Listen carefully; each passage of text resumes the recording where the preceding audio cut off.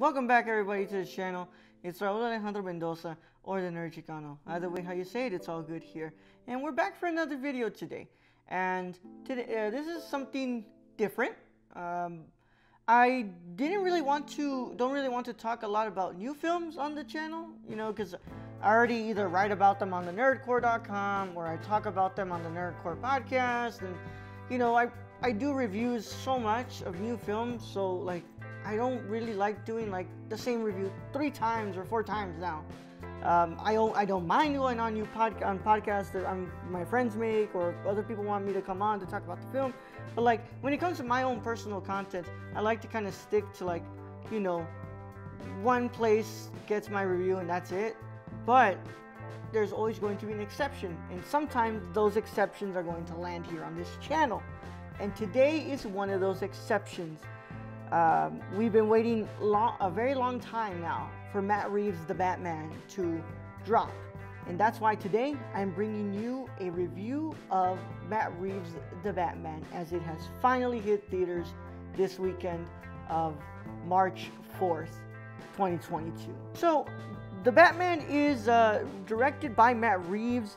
Uh, you may know Matt Reeves from Dawn of the Planet of the Apes and War for the Planet of the Apes, or you may even know him from before that when he directed Cloverfield, the found footage movie that, you know, would start off that Cloverfield franchise. Uh, Matt Reeves took over directing duties from Ben Affleck when Ben Affleck stu- stu- stu- stepped away from the from the from the director's chair, and then um, stood stepped away from the actor role as well. And my, Robert Pattinson was cast as our next Cape Crusader. We also have Zoe Kravitz playing Selina Kyle, aka Catwoman. We have Jeffrey Wright as Lieutenant James Gordon, Colin Farrell as um, Oswald Cobblepot, the, the Penguin, Paul Dano as our the Riddler, and John Turturro as Carmine Falcone, Andy Serkis as Alfred, and the list goes on and on. And of course, this is our next installment in the DC Films franchise, but don't get it twisted, this is not part of the DC Extended Universe. This is explained as being its own separate thing and being its own Bat universe. And we see that because the plan apparently is for two other films going forward and some HBO Max spin off series, including a Penguin, fran- Penguin series and a GCPD, uh, Gotham City Police Department series, and also apparently a rumored Arkham Asylum series. Of course, uh, this film finally comes after two release uh, delays because of the COVID, COVID pandemic, COVID-19 pandemic, and also delays in filming from the COVID-19 pandemic. But it's finally here, and what are my thoughts? I love this movie.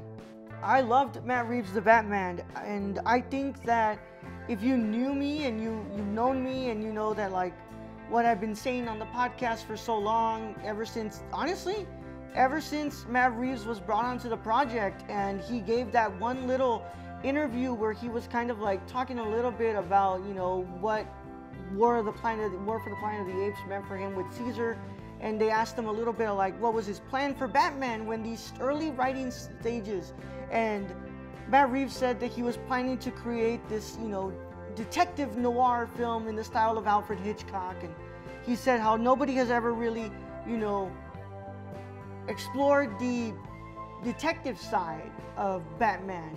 And he wanted to get that. And then, of course, fast forward when we got that FanDome teaser trailer with some minimum footage that was barely shot before production was halted because of the pandemic and then we fast forward from there, we finally get our first trailer. So hype has been building up for this, and I knew that this movie was in the best of hands because every single time that Matt Reeves opened that mouth, he knew what he was talking about. He knew what he was doing with Batman, and I love this movie. I think that Robert Pattinson does an incredible job as Batman, as Bruce Wayne. I think that he might possibly be my favorite Batman now. And Zoe Kravitz does a great job as well, as Selina Kyle and Catwoman. Honestly, being my favorite Catwoman as well. I was a big, I was a fan of uh, of uh, Michelle Pfeiffer and uh, Anne Hathaway in their respective films, but I think Selina Kyle in this film, played by Zoe Kravitz, really brings out her own taste to it, and she really gives us a glimpse at her own interpretation of Catwoman. We also have some great performances, not just by Jeffrey Wright as Lieutenant James Gordon and, their, and his relationship with Batman in here, because Robert Pattinson and Jeffrey Wright have a great chemistry together, but Colin Farrell, John Turturro, Andy Serkis, but it's uh, play great, great respective characters, but it is really Paul Dano's the Riddler that shines for me in this film. His, haunt, his haunting performance and a very, very, very interesting commentary on extremism and radicalization within the world takes a takes a nice spin at this film and I think that the writing is so strong here and the, the, the script is, is, is strong I don't think it's a perfect film but I think that it hits its beats really well which ends up making for a great uh, film and a, a very very interesting interpretation of the Dark Knight himself. Other things that I really enjoyed, I loved Greig, Fra uh, Greig Fraser's uh, cinematography. As always, you know, Greig Fraser has been building a repertoire of excellence.